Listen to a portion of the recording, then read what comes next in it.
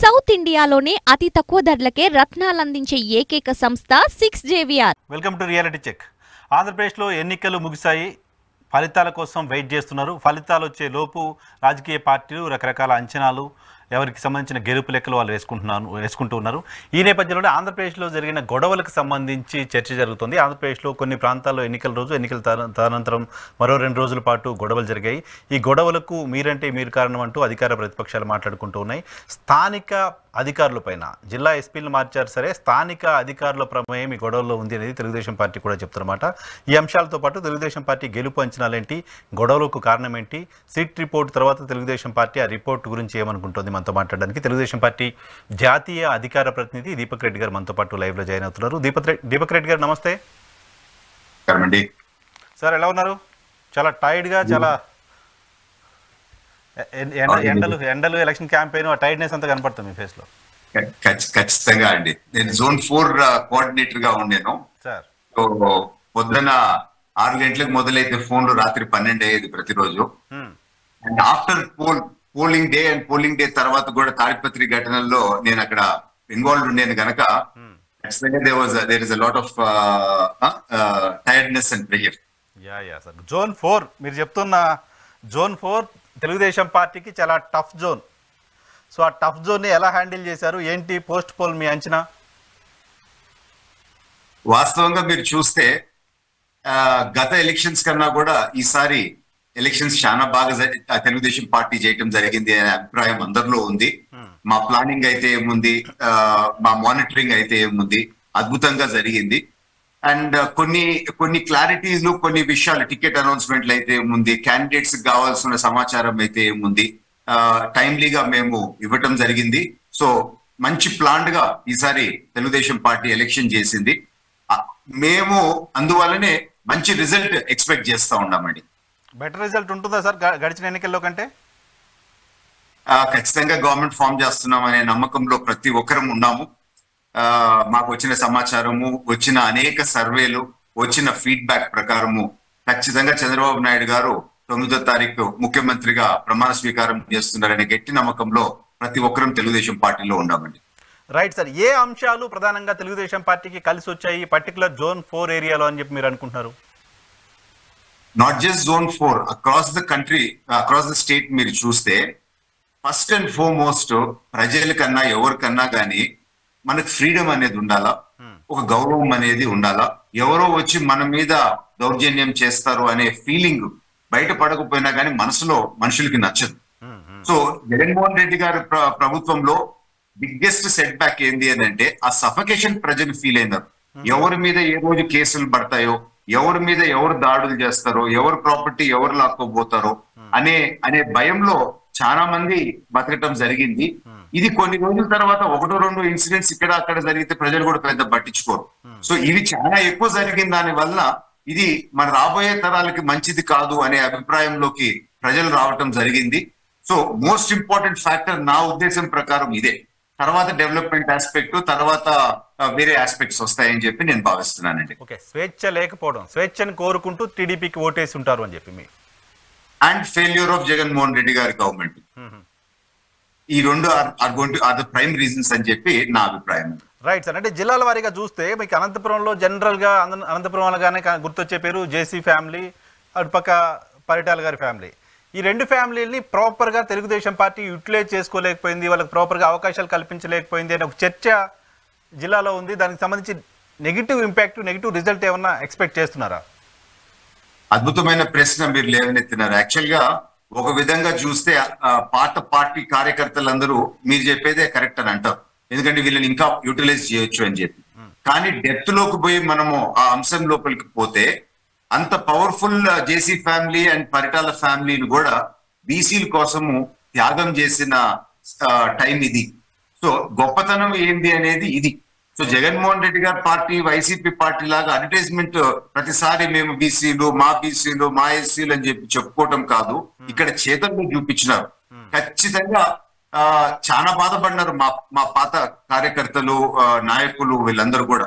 ఎందుకంటే వీళ్ళే winnowing horses వీళ్ళకి ఇస్తేనే కరెక్ట్ అని చెప్పి చాలా దూరం పోరాడినారు కూడా.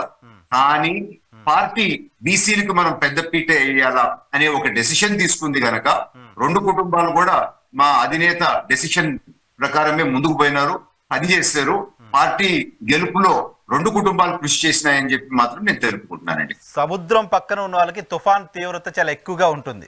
జగన్మోహన్ రెడ్డి గారి సర్కార్ వచ్చిన తర్వాత అటువంటి తుఫాను తీవ్రతని ఫస్ట్ ఎదుర్కొన్న ఫ్యామిలీ ఫస్ట్ హిట్ అయిన ఫ్యామిలీ జేసీ ఫ్యామిలీ మీరు కావచ్చు ప్రభాకర్ రెడ్డి గారు జైలుకి వెళ్ళి రావడం కావచ్చు కంటిన్యూస్గా అటాక్స్ టువర్డ్స్ జేసీ ఫ్యామిలీ జరుగుతూ వచ్చాయి. విజిబుల్గా కనపడింది. సేమ్ టైం మొత్తం రాష్ట్రంలో ఒకే ఒక్క మున్సిపాలిటీ తెలుగుదేశం పార్టీ గెలిస్తే అది జేసీ గారి ఫ్యామిలీ తాడిపత్రికి సంబంధించిన మున్సిపాలిటీ. సో ఆ స్థాయిలో ఫైట్ చేసిన మీకు అవకాశాలు కల్పించకపోవడం అనేది సో ఎంతో కొంత అన్రెస్ట్ అయితే కార్యకర్తలో ఉంటుంది కదా. దీన్ని మీరు చెప్తున్న ఈ బీసీ ఫ్యాక్టరీ ఇదంతా కన్విన్స్ అయ్యే పరిస్థితి ఉంటుందా? వాస్తవంగా పవన్కి ఇచ్చుంటే ఎంపీ బాగుండేది అని చెప్పి నమ్మేవాళ్ళు నేను ఒకడిని కానీ పార్టీ ఆ డెసిషన్ తీసుకున్న తర్వాత పవన్ కూడా మా అధినేత డెసిషన్ మేము గౌరవిస్తాము అని చెప్పి చెప్పినారు. అదే విధంగా కుటుంబం అంతా గౌరవిస్తున్నాము. మేము ముందుకు పోతా ఉన్నాం ఇది కాకపోతే పార్టీ మరొక మరొక అవకాశం కలిగిస్తుంది అని చెప్పే ఒక నమ్మకంతో మేము ముందుకు పోవటం జరుగుతా ఉంది. ఎస్ మీరు చెప్పిన మాట మాట మాత్రం వాస్తవమే. ఏ విధంగా మీరు టార్గెట్ చేశారు ఏ విధంగా ఇబ్బందులు పెట్టినారు అది సాడిజం కి సైకోయిజం కి పరాకాష్ఠకి తీసుకుపోయినారు. వాస్తవంగా ప్రజలకి వారు వైసీపీ చేసిన టార్చర్ పెట్టిన ఇబ్బందులు ఒక ఐదు పది శాతం కూడా తెలియదండి ఎందుకు అవన్నీ తెలిస్తే ప్రజలు భయపడతారని చెప్పి జేసీ ప్రభాకర్ రెడ్డి గారు పెద్ద మనసుతో అవన్నీ బయటకు రానియలేదు. ఆ మాదిరి కూడా చేసినా గానీ గట్టిగా ఫైట్ చేశారు దాదాపు వంద కేసులు పైన పెట్టించుకున్నారు. అయినా గానీ ఇ- ఇంకా గట్టిగా నిలిచినారు. ఇది ఒక నాయకుడి లక్షణ గ్రేట్ క్వాలిటీ ఇది మనము మనము మనం అందరం దీన్ని దీన్ని హర్షించాల్సిన క్వాలిటీ అండ్ ఎందుకు ఇవంతా అంటే ఇప్పుడు చూస్తే చాలా వరకు అక్రమ కేసులు అండి మీకు ఒక చిన్న ఎగ్జాంపుల్ ఇస్తాను స్టార్టింగ్లో నేను తెలుగుదేశం పార్టీ లీగల్ కమిటీలో ఉండాను ఈ ప్రభుత్వం అధి- అధికారంలోకి రాగానే. సో అప్పుడు జేసీ వాళ్ళ బస్సులు ఆపేవాళ్ళు. ఏంది అని అంటే సీట్ బెల్ట్ లేదు అని అంటాము. లేకపోతే ఇట్లాంటి చిన్న క్లీనింగ్ సరిగ్గా చేయలేదనో లేకపోతే అక్కడ ఉండే స్టాఫ్ డ్రెస్ వేసుకోలేదనేమో. ఇట్లాంటి కేసులతో ఇంపౌండ్ చేసి బస్సులు లోపల పెట్టినారు. అది యాక్చువల్గా సీజ్ చేయాల్సిన కేసులు కాదు. సో వీరు హైకోర్టుకు పోయి ఇవన్నీ తప్పులు చూపిస్తే ఎస్ హైకోర్టు కూడా దాన్ని తప్పు ఇది చేయటము అని చెప్పి చెప్పింది. అయినా వీళ్ళు పట్టించుకున్న పరిస్థితి లేదు. మళ్ళా కంటెంట్ ఆఫ్ కోర్ట్ మూవ్ చేసినారు. అయినా పట్టించుకునే పరిస్థితి లేదు. సో ఈ విధంగా టార్గెట్ చేసుకుంటా వచ్చినారు.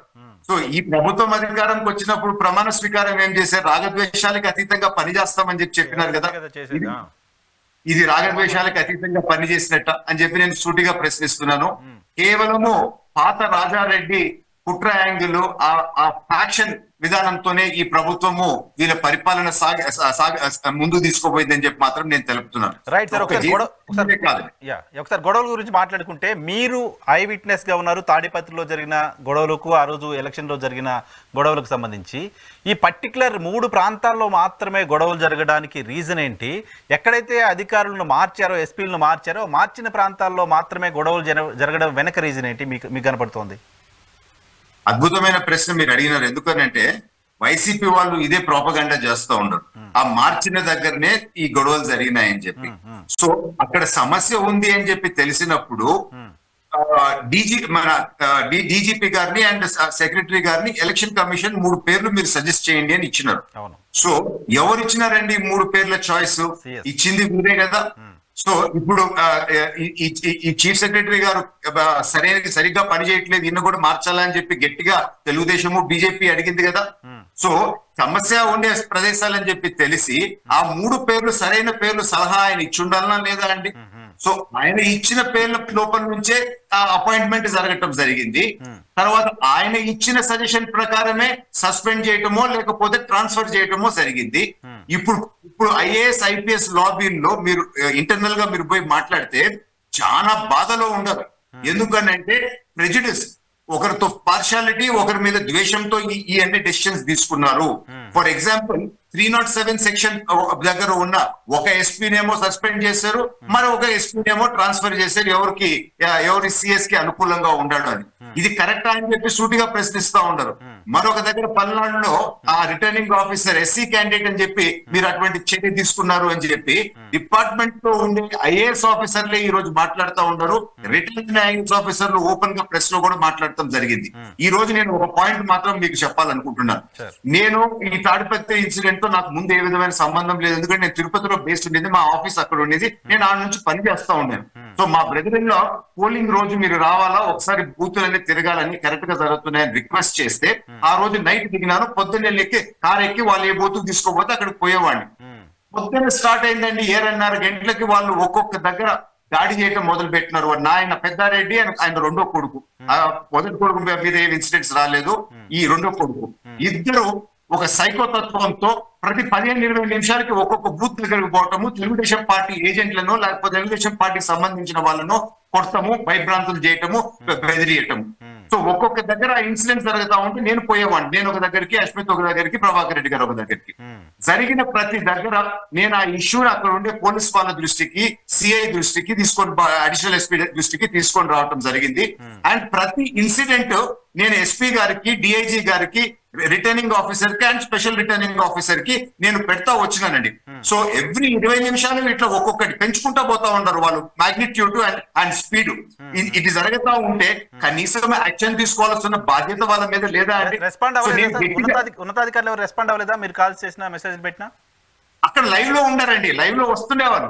వస్తుండి ఇదిగో కొడుతున్నారంటే ఎక్కడ కొడుతున్నారు? వాళ్ళని పిలిపించి దెబ్బలు చూపించేది రక్తాలు చూపించేది. తర్వాత మీరు ఎందుకు వచ్చినారు ఇక్కడికి అని చెప్పి నన్ను ప్రశ్నిస్తారు. నాకు పర్మిషన్ ఉంది ఈసీ పర్మిషన్ ప్రకారం నేను వచ్చినాను. ఈ పర్మిషన్ కరెక్టా నేను ఈసీ వాళ్ళకి చెక్ చేయాలా? మీకు ఇచ్చిన లెటర్ కరెక్టా కాదా? సో మీరు మీరు హండ్రెడ్ మీటర్స్ దూరంలో ఉండాలా? ఇట్లాంటి రూల్స్ అన్ని ఎంతసేపు నన్ను మాట్లాడి నా పక్కన ఉండే వాళ్ళందరినీ చెల్లా చెదురు కొట్టేసి కేవలం ఒక్కడినే ఎక్కడికైనా నేను ఒక్కడినే పోయే విధంగా కానీ వాళ్ళు మాత్రము కాన్వాయిస్లో పోయి గుంపులు గుంపులుగా ఉండి నన్ను అటాక్ చేసి ఏమైనా చేస్తుంటే ఎవరు దానికి బాధ్యత? ఇదిగోండి. ఎస్పీ గారికి నేను పెట్టిన మెసేజెస్. ఎస్పీ పేరు పేరు పైన ఉంది. లైవ్ మీకు ఎగ్జాంపుల్ చూపిస్తున్నాను. కంటిన్యూగా ఒక్కొక్క ఇన్సిడెంట్ ప్రతి అర్ధ గంటకి నేను ఎస్పీకి పెడతా ఉన్నాను. వీళ్ళ బాధ్యత లేదా అంటే ఈ రోజు అన్నిటికన్నా బాధాకరం ఏంటి అని అంటే ఈ ఎంటైర్ ఎపిసోడ్లో ఈ పోస్ట్ పోల్ వయలెన్స్ అరవై ఎనిమిది సంవత్సరాల ఆంధ్ర రాష్ట్ర చరిత్రలో ఇంత ఎక్కువ పోస్ట్ పోల్ వయలెన్స్ ఎప్పుడు జరగలేదు. జరగలేదు. అదే కదా. కానీ వైసీపీ వాళ్ళు తర్వాత వచ్చి ప్రెస్ మీట్లు పెట్టి ఏమని అంటున్నారంటే టీడీపీ వాళ్ళు దాడి చేస్తున్నారు అని అంటున్నారు. ఇంతకన్నా రుజువు మీకు ఏం కావాలా ఇది కాకుండా ఆ యాప్లో ఈ సి విజిల్ యాప్లో కూడా మేము అప్లోడ్ చేస్తా వచ్చినాం. మా దగ్గర ప్రూఫ్స్ ఉన్నాయి. మేము. దాడి చేసినట్టు ఒక్క రుజువు అన్న వాళ్ళు చూపించగలుగుతారా పెద్దారెడ్డి- గారి పెద్దారెడ్డి గారి ఇంటి దగ్గర ఎదురుగా ఉన్న కాలేజ్ పైన టపాసులు కాలుస్తున్నారు. అక్కడ ఎవరో ఒక ట్రాక్టర్ తీసుకొచ్చి కొన్ని రాళ్ళు ఏదో డంప్ చేస్తున్న విజువల్స్ చూశాను సోషల్ మీడియా ఇదంతా కూడా టీడీపీ వాళ్ళు చేస్తుంటే పోలీసులు సైలెంట్గా ఉన్నారు అనేది పెద్దారెడ్డి గారి వర్షన్గా కనపడుతోంది. నేను ఒకటి చెప్పేదా అండి? సార్. దానికే వస్తా ఉండండి. ఇది చూడండి. ఒక్కొక్క వాళ్ళ కాన్వాయిస్లో పోవటం. కాన్వాయిల్ మమ్మల్ని ఏమో పోనీయరు.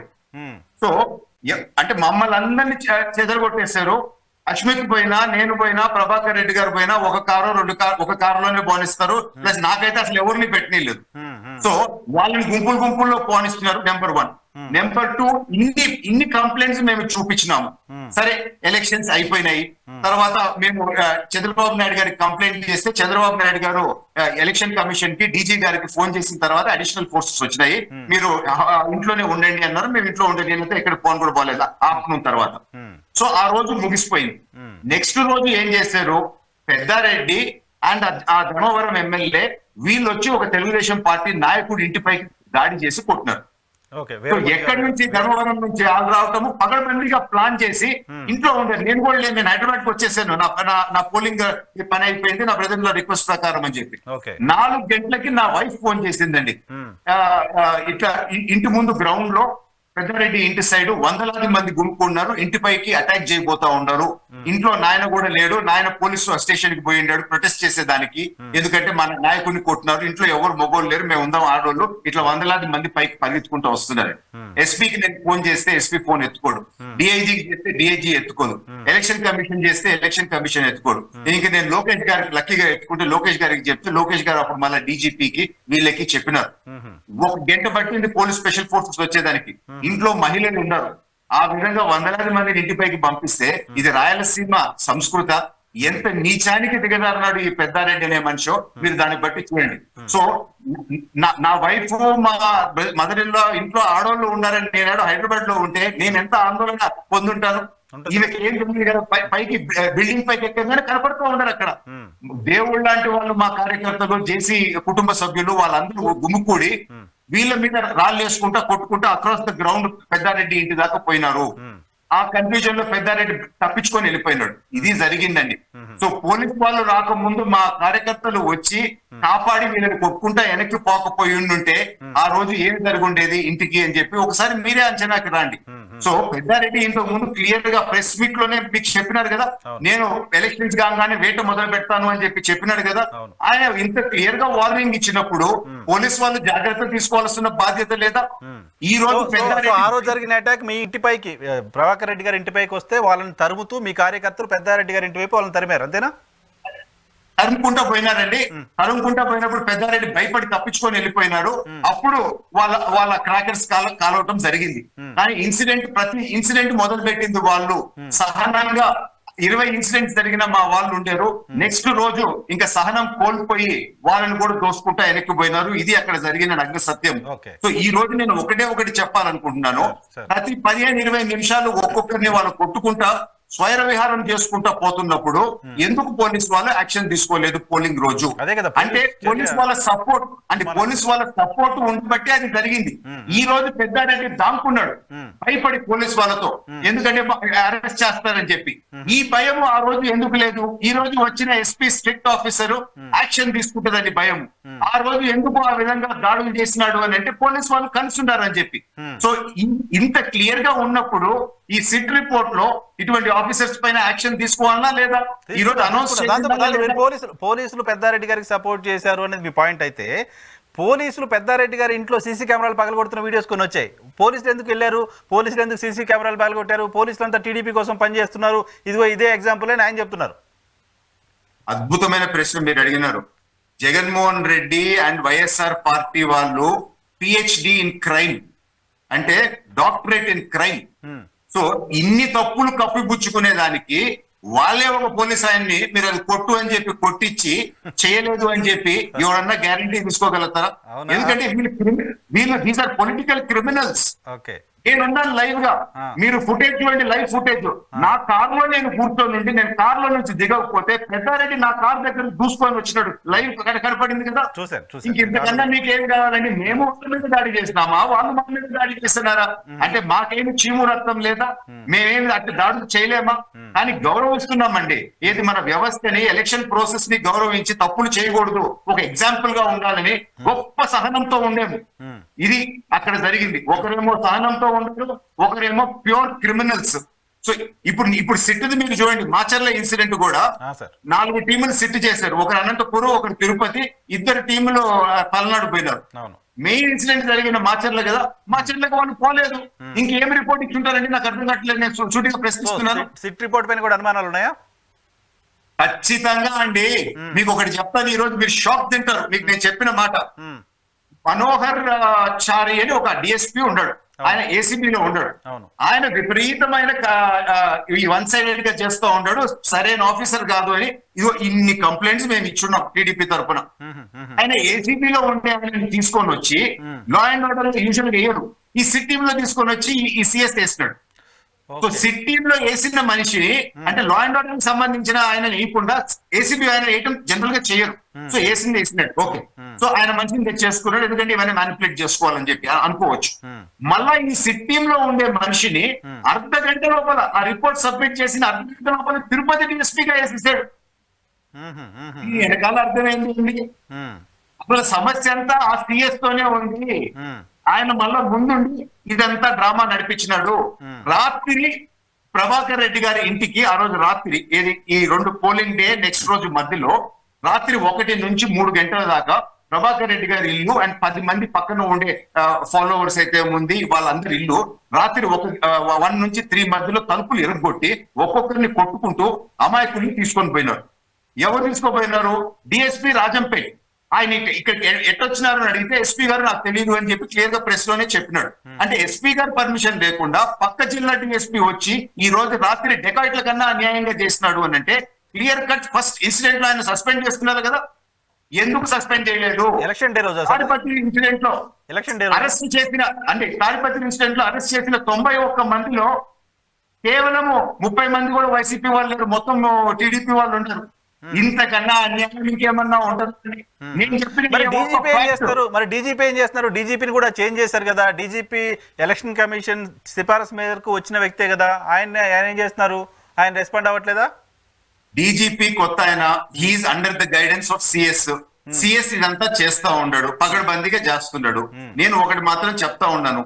ఈ ఇవన్నీ వీళ్ళు సరి సరిదిద్దకపోతే రేపు తెలుగుదేశం పార్టీ అధికారంలోకి రాగానే ఒక special judicial enquiry into this entire process వేసి డీటెయిల్స్లోకి పోయి అందరికి సరైన శిక్ష పడే విధంగా మేము మళ్ళా చేస్తాము. ఇప్పుడు వీళ్ళు సరిగ్గా చేయకపోతే ఎందుకంటే ఆ రిపోర్ట్లో డీటెయిల్స్ ఇంకా బయటికి రాలేదు. ఎందుకంటే వాళ్ళు రిపోర్ట్లోనే రెండు దగ్గర రాస్తున్నారు. ప్రెస్కి రిలీజ్ చేసిన దాంతో. తప్పులు జరిగినాయి. With ఇవన్నీ ఇంటెన్షనల్గా చేసినారు దీని వెనకాల లీడర్స్ ఉన్నారు అని చెప్పి.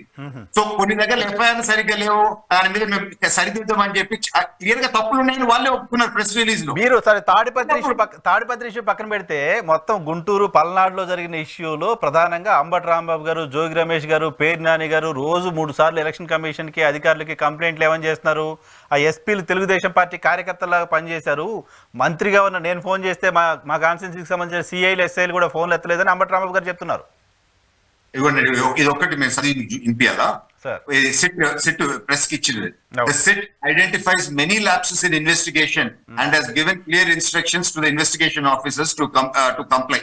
అంటే క్లియర్గా వాళ్ళు సరిగ్గా సెక్షన్స్ పెట్టలేదు సరిగ్గా కేసులు బుక్ చేయలేదు అని చెప్పి కూడా క్లియర్గా ఉంది మీకు ఒక ఆశ్చర్యమైనది ఏంటి అని అంటే అంబటి రాంబాబు గారు అండ్ మీరు చెప్పిన ఐదారు మంది నాయకులు కలిపి ఒక లెటర్ రాశారు సిట్కి ఉమ్, ఈ సిట్కి రాసిన లెటర్లో ఒక ఎనిమిది పేజీల లెటర్. ఉమ్, దీని లోపల వీళ్ళు ఎవరెవరు తప్పు పట్టినారో వాళ్ళ మీద చర్యలు తీసుకున్నారు.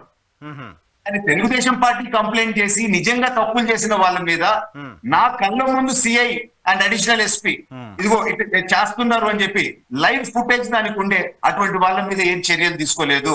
సో ఇక్కడ కూడా పార్షాలిటీతో జరిగింది. సరే సరే సరైన విధంగా జరగలేదు అని చెప్పి నేను తెలుపుతూ ఈ ఇన్వెస్ట్ ఈ వీళ్ళు ఇచ్చిన లెటర్లో మీరు చదివితే ఆ కృష్ణదేవరాయ ఎంపీ క్యాండిడేట్ని ఒక పెద్ద ఫ్యాక్షనిస్ట్ రకంగా వీళ్ళు రాశారు.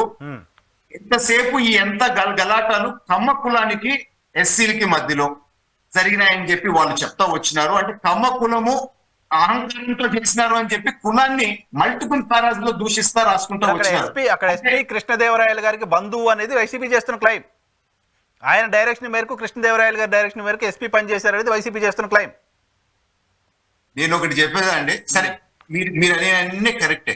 ఇప్పుడు సిట్ టీమ్ వీళ్ళు వేసినారు కదా మాచర్లకు ఎందుకు పోలేదు నాకు చెప్- చెప్పగలుగుతారు? వాళ్ళ ఇన్వెస్టిగేషన్ ఇప్పుడు నేను ఎస్పీ గారికి మీకు చూపించిన రుజువుతో చూపించిన ఎస్పీ ఆఫీషియల్ ఫోన్ నెంబర్ ది నేను ఇన్ని కంప్లైంట్స్ ఇస్తే నాకు కనీసం ఫోన్ చేసి ఏంది అని అడగాల్సిన బాధ్యత ఆ కి లేదా? పదిహేను ఇరవై కంప్లైంట్స్ ఇచ్చినోడికి మీరు ఫోన్ చేయరు. అసలు పల్నాడులో కీ ఏరియా మాచర్లో జరిగితే మాచర్లకి ఫీల్డ్ విజిట్ కూడా పోలేదు. వేరే వారికలకు పోయినారు. వీళ్ళు ఏమి ఇన్వెస్టిగేషన్ చేస్తుంటారండి? అసలు ఈ టీం ఏంది? ఎవరున్నారు ఈ టీంలో? నాలుగు టీముల్లో ఒక్క ఎస్పీ ఉన్నాడు మిగతా వాళ్ళు డిఎస్పీ అండ్ సిఐలు ఉండరు. దీంతో ఇప్పుడు సస్పెండ్ అయిన ట్రాన్స్ఫర్ అయిన వాళ్ళు ఎవరు? ఎస్పీలు ఒక డిఎస్పీ ఒక సిఐ ఎస్పీ పైన సొంత డిపార్ట్మెంట్లో ఉండే వాళ్ళ పైన యాక్షన్ తీసుకుంటారా అండి. సిట్ రిపోర్ట్ పైన మీకు అభ్యంతరాలు ఉన్నాయి సిట్ రిపోర్ట్ పైన వైఎస్ఆర్ కాంగ్రెస్ పార్టీ కూడా అభ్యంతరాలు ఉన్నాయి. కాదండి తప్పు చేసినారు పోలీస్ వాళ్ళు అని మనం అంటే ఆ.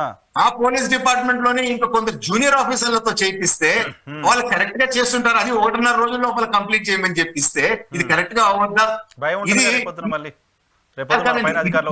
ఇది- ఒక జ్యుడిషియల్ కమిటీ వేయాలండి ఏసీ పోలీస్ వాళ్ళని వాళ్ళ కింద జవాబాదారీతనం చేయాలా?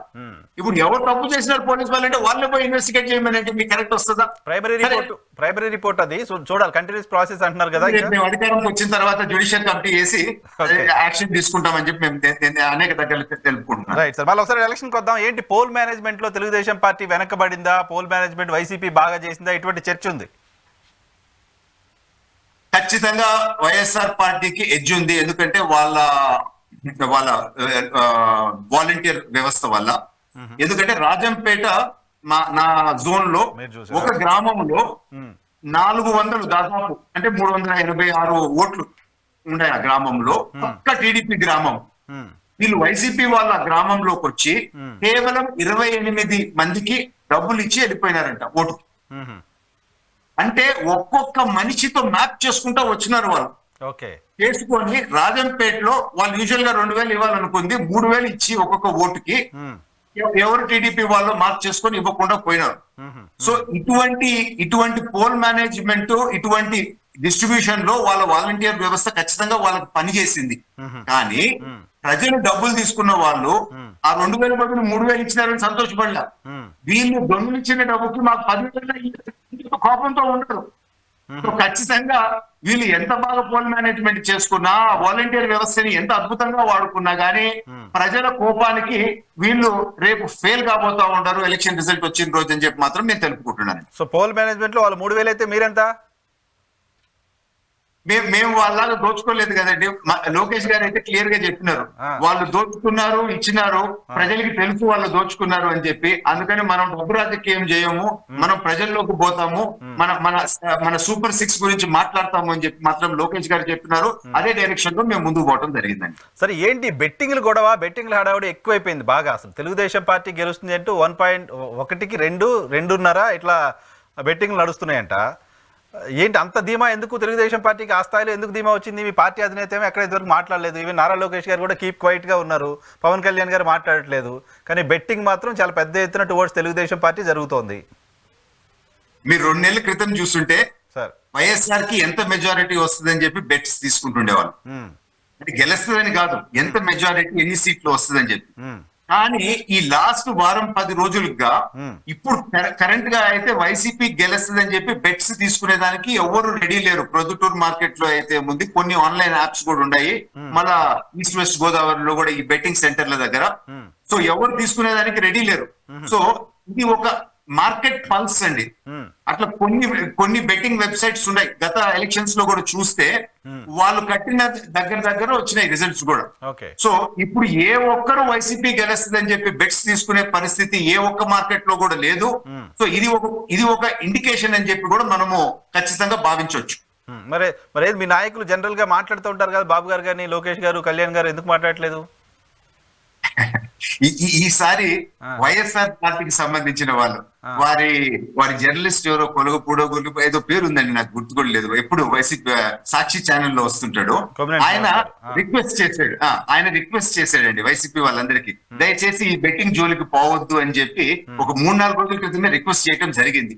సో ఇప్పుడు ఎట్లా మనం ఓడిపోతున్నానో ఆ ఉండే కొంచెం డబ్బులు కూడా బాగొట్టుకోవద్దురా నాయన అని చెప్పి ఆయన వైసీపీ అట్లాగా జర్నలిస్ట్గా బెట్టింగ్ అనేది సరైనది కాదు అని అప్పీల్ చేయడాన్ని ఎందుకు మీరు దాన్ని ఆ- రకంగా చూడరు? అప్పీల్ బెట్టింగ్ పెట్టమన్నా తప్పు కదా. బెట్టింగ్ నిషేధం కదా మన దగ్గర. మీరు మీరు జర్నలిజం మంచి స్పిరిట్తో చెప్తున్నారు. ఆయన మాత్రం ఆల్రెడీ దెబ్బతిన్నాం ఇంకా ఫర్దర్ నష్టపోవద్దు అని చెప్పి ఆ ఉద్దేశంతో చెప్పినాడని నేను భావిస్తున్నానండి. Okay okay. సో ఓటమి వైఎస్ఆర్ కాంగ్రెస్ పార్టీకి తెలిసిపోయిందని చెప్పి మీ అభిప్రాయం? ఖచ్చితంగా బట్ అవుట్ స్పోకెన్ కానీ ఎప్పుడు పెద్దగా అవుట్ స్పోకెన్ కానీ జగన్మోహన్ రెడ్డి గారు ఫస్ట్ టైం ఐపాక్తో ఆయన మాట్లాడుతూ నూట యాభై ఒకటికి పైగా సీట్లు గెలవబోతున్నాం అనే మాట చెప్పారు. జనరల్గా జగన్మోహన్ రెడ్డి గారు అలా చెప్పరు. ఆ మాట చెప్పిన తర్వాత కొంత టీడీపీ గెలుస్తుందని చెప్తున్న వాళ్ళు కూడా డిఫెన్స్లో ఓడిపోయి ఎందుకు జగన్ గారు ఇలా చెప్పారని మాట్లాడుతున్న మాట నిజం కదా? ఆరు నెలల క్రితం కేసీఆర్ గారు ఏం చెప్పినారండి? కేసీఆర్ గారు చాలా ఇప్పుడు కూడా చెప్తున్నారు ఆయన. పన్నెండు సీట్లు ఎంపీ గెలుస్తున్నాం తెలంగాణలోని. కేసీఆర్ గారు అటువంటి చాలా సార్లు చెప్తారు. బట్ జగన్ గారు చెప్పరు. అసెంబ్లీ ఎలక్షన్లో ఇంతకన్నా ధైర్యంగా చెప్పినాడు? "ఏయ్, వాళ్ళకేం తెలుసు? మొత్తం చూడు మనకు వస్తుంది చూడు అని అన్నాడు. సో ఆ- స్థానంలో కూర్చున్నప్పుడు ఇప్పుడు రెండు వేల పంతొమ్మిదిలో కూడా మేము అదే ధీమాతో ఉండేం. అవును బాబు గారు కూడా చెప్పారు. నూట ఎందుకు అని అంటే ఒక రెండు రెండు ఇండస్ట్రీస్ చాలా డేంజరస్ ఇండస్ట్రీస్ అండి. ఒకటి రాజకీయం లైన్ ఇంకోటి సినిమా లైన్. మన చుట్టూరు ఉండేవాళ్ళు మన వాళ్ళు పొగడుతూ ఉంటారు. రాజకీయంలో ఇంకా పెద్ద డేంజర్ ఏంటంటే ఈ ఐఏఎస్ ఆఫీసర్ ఈ ఐఏఎస్ ఆఫీసర్లు అద్భుతమైన రిపోర్టు తయారు చేసి. మభ్య పెడతారు ఒక ముఖ్యమంత్రి గారిని. సో వాళ్ళు సక్సెస్ఫుల్గా వాళ్ళ కుర్చీలు కాపాడుకునే దానికి అట్లా చేసి. ఈ ఈ ముఖ్యమంత్రి గారు దెబ్బతినాల్సిన దానికి నా analysis number one culprits is IAS officers okay okay. ఇది వ్యవస్థ డీప్ ఈ సిచ్యువేషన్ తెలుసు నాకు అర్థమవుతుంది కాస్త. ఆ ఐఏఎస్ ఆఫీసర్లు ఏ రకంగా అధికారంలో ఉన్న వాళ్ళని వాళ్ళ కళ్ళకి గంతలు కడతారో చాలా సందర్భాల్లో చూసాం. అలా నష్టపోయిన రాజకీయ నాయకులు కూడా చాలా మందిని చూసాము. ఆహా, ఐపాక్ ఆల్టర్నేటివ్గా పనిచేస్తూ వచ్చింది వైఎస్ఆర్ కాంగ్రెస్ పార్టీ కోసం. ఐపాక్ ఇస్తున్న రిపోర్ట్లు కూడా జగన్మోహన్ రెడ్డి గారు చెప్తున్న దానికి దగ్గరగా ఉన్నాయనేది ఆ పార్టీలో జరుగుతున్న చర్చ. అంటే నేను ఒకటి చెప్తాను. రాజకీయాల్లో ఏదున్నా గానీ అధినాయకుడికి ఒక క్యారెక్టర్ ఉండాలా? ఒక మనసు ఉండాలా? అని ప్రజలు కోరుకుంటారండి. ఈ రోజు జగన్మోహన్ రెడ్డి గారి సొంత చెల్లె అమ్మ బయటకు వచ్చి ఇంకొక చెల్లె వచ్చి ఆయన చెప్పిన కొన్ని అంశాలు ఆ బేసిక్ క్యారెక్టర్ ఆ బేసిక్ నమ్మకాన్ని దెబ్బతీస్తా ఉండే సో ప్రజలు బయటకు మాట్లాడకపోవచ్చు. ఎందుకు ముఖ్యమంత్రి గారి మీద ఆ విధంగా మాట్లాడాలా అని చెప్పి సున్నితంగా ఉండొచ్చు. కానీ మనసులో అయితే పెట్టుకుంటారు. ఏ విధంగా ఎస్పెషలీ ఆ హత్య కేసులో ఈ రాష్ట్ర ఐదు సంవత్సరాల్లో జరిగిన ఇన్సిడెంట్స్ అన్ని వందలాది సార్లు ప్రెస్ రిపోర్ట్ చేసింది కదా. సో ఎంత తక్కువ అవగాహన లేని వాళ్ళు రాజకీయం గురించి తెలియని వాళ్ళు కూడా ఒక అంచనాకు వస్తారు కదండి. ఆ విధంగా దారుణంగా చంపి అధికారంలో ఉండి రోడ్డు మీద తిరుగుతా ఉంటే ఒక ఆడామ న్యాయం చేయలేదే సొంత రక్తము అని చెప్పి ఒక అంచనాకి రారా అండి మనుషులు? బయటకు మాట్లాడకపోయినా. నేను? అనుకోవడం నేను నేను అనుకోవడం ఖచ్చితంగా అది ఇంపాక్ట్ ఉంటది అని చెప్పి అనుకుంటున్నాను. ఎందుకు అంటే ఈ పథకాలు ఇవన్నీ ఏదో మాకన్నా ఒక పది రెట్లు ఎక్కువ పథకాలు జగన్మోహన్ రెడ్డి గారు ఇస్తే అప్పుడు స్వార్థానికి అటు పోతారు. వారు ఏమి మాకన్నా మంచి పథకాలు ఏమి చెప్పలేదు. ఇంకా మా సూపర్ సిక్స్ ప్రజలకి ఇప్పుడు అవసరము. ప్రజలకు ఉండే కష్టాల్లో ఇదే హెల్ప్ఫుల్గా ఉంటది అని చెప్పి మేము భావించి ఇచ్చినాము. ఇవే బెటర్ అని చెప్పి ప్రజలు కూడా ఆలోచిస్తున్నారు. సో మేము ఇచ్చే పథకాలు జగన్మోహన్ రెడ్డి దానికన్నా బెటర్ అని ఒక ఆలోచనలో ప్రజలు వచ్చినప్పుడు. ఖచ్చితంగా ఇవన్నీ కూడా బేరంజీ చేసుకొని ఖచ్చితంగా ఇవి ఒక చాయిస్ లాస్ట్ టైం ఒక ఛాన్స్ అని అడి- అడిగి తీసుకున్నారు. అంత రిక్వెస్ట్గా అడిగి తీసుకున్న ఆయన ఈ ఎలక్షన్స్ వచ్చేసరికి గర్వం వచ్చింది. సిద్ధమే మేము అంతా మేము మమ్మల్ని మ్యాగ్ చేస్తామనే అనే టోన్లో ముందుకు వచ్చినారు. ఇది ప్రజలు హర్షించారండి. ఆ, మీరు అడుక్కోండి ప్రజలు మీరు అడుక్కుంటే "ఏ, మంచిది అని అంటారు. అప్పుడు ముద్దు పెట్టినట్టు ఇంకోసారి ముద్దు పెట్టుంటే ఏదన్నా హర్షించి ఉండేవాళ్ళు. కానీ సిద్ధం సిద్ధము ఆ దౌర్జన్య టోను అనేది ప్రజలు అప్రిషియేట్ చేయరు. ఓకే. జోన్ మీకు ఇంకెక్కువ టైం తీసుకోండి సార్ టూ మినిట్స్లో క్లోజ్ చేస్తా. మీ జోన్ పరిధిలోనే ఉన్న కడప పార్లమెంటుకు సంబంధించి మీ పార్టీ అవుట్ రైట్గా వైఎస్ షర్మిల గారికి ఓట్లు వేయించిందనే ప్రచారం చాలా విస్తృతంగా జరుగుతోంది కడప జిల్లాలో. తెలుగుదేశం ఓటర్లంతా కాంగ్రెస్ పార్టీకి ఓట్లు వేశారు షర్మిల గారికి మద్దతు ఇచ్చారు అని. కడప పార్లమెంట్ ఒకటి నా- జోన్ కాదండి. సో నాకు ఎగ్జాక్ట్ డీటెయిల్స్ తెలియదు. కానీ. మొన్న ప్రధానమంత్రి గారు వచ్చినప్పుడు మ్మ్. నలుగురు ఎంపీల్ని పిలిచినాం రాండి ఆ ప్రోగ్రామ్లో పార్టిసిపేట్ చేయండి అని ఇంక్లూడింగ్ కడప ఎంపీ. సో మేము గెలిపించుకోవాలి మా ఎంపీ అనే ఉద్దేశం మాకు ఉంటదే గానీ మ్మ్. వేరే వాళ్ళకి చేసే ఉద్దేశం మా పార్టీకి అయితే లేదు అని చెప్పి నేను క్లారిటీతో చెప్తున్నాను. ఆమె మాట్లాడిన మాటలు తెలుగుదేశం పార్టీ క్యాంపెయిన్లో ఎక్కువ కోట్ చేస్తూ వస్తున్నారు. వైఎస్ షర్మిల గారికి అన్యాయం జరిగిందంటే కోట్ చేస్తూ వస్తున్నారు. సునీతారెడ్డి గారికి అన్యాయం జరుగుతుందంటూ కోట్ చేస్తూ వస్తున్నారు. Natural గా ఆ sympathy towards Congress party Sharmila గారి వైపు వెళ్ళడానికి సంబంధించిన ఆస్కారం ఉంటుంది కదా ఈవెన్ మీ క్యాడర్లో? షర్మిల గారు సునీత గారు లేవనెత్తిన అనేక అంశాలు చాలా కరెక్ట్. బుల్లెట్లు గుచ్చుకున్నట్టు గుచ్చుకుంటుండే వైసీపీ పార్టీకి. అవి మేము చెప్తా వచ్చినాము గానీ. ఓటేమని చెప్పి చెప్పలే. ఇన్ఫాక్ట్ చాలా మంది మాకు సజెస్ట్ చేసినారు. మా కడప సీట్ డ్రాప్ చేసుకొని మనము సునీత మన షర్మిల గారికి సపోర్ట్ చేస్తే హండ్రెడ్ పర్సెంట్ గెలుస్తుందని చెప్పి. హండ్రెడ్ పర్సెంట్ గెలుస్తుంది మేము సపోర్ట్ చేస్తే అని చెప్పి తెలిసి కూడా మేము చేయలేదండి. ఎందుకంటే మా పార్టీ మా కూటమి మేము ముందుకు పోవాలని చెప్పి ఒక పక్కా డెసిషన్తో ముందుకు పోయినాం. ఇది వాస్తవం. రైట్ సార్ ఇంకొకటి ఇంట్రెస్టింగ్ మీ జిల్లాకు సంబంధించి అనంతపురం ఉమ్మడి అనంతపురం జిల్లాకు సంబంధించి హిందూపురంలో బాలకృష్ణ ఓడిపోతారు అని కూడా బెట్టింగ్ నడుస్తున్నాయి. ఏంటి అసలు హిందూపూర్ హ్యాట్రిక్ కొడతారా బాలయ్య బాబు ఈసారి? గ్రౌండ్ రిపోర్ట్ వైసీపీ కాదండి. వైసీపీ వాళ్ళు బాలకృష్ణ గారిని లోకేష్ గారిని అండ్ చంద్రబాబు నాయుడు గారి కాన్స్టిట్యున్సీస్లో అండ్ పవన్ కళ్యాణ్ గారి కాన్స్టిట్యున్సీలో టార్గెటెడ్ మళ్ళా ఇట్నే ఒక్కొక్క ఓటర్ వైజ్ టార్గెట్ చేసుకొని హార్డ్ కోర్ టీడీపీ వాళ్ళని వదిలిపెట్టి న్యూట్రల్ వాళ్ళకి ఎక్కువ అమౌంట్ ఇవ్వటం మొదలు పెట్టినారు. దాదాపు నాలుగు వేల నుంచి ఆరు వేల రూపాయలు ఇవ్వటం జరిగింది. మళ్ళా కొందరిని రీటార్గెట్ చేసి Hmm. ఇది అక్రాస్ ద బోర్డ్ ఇచ్చేసారు నాలుగు వేల నుంచి ఆరు వేలు. ఇది ఈ కాన్స్టిట్యున్సీస్లో. మళ్ళా రీటార్గెట్ చేసి ten to ten to fifty thousand votes మళ్ళా అడిషనల్ అమౌంట్స్ కూడా ఇవ్వటం జరిగింది.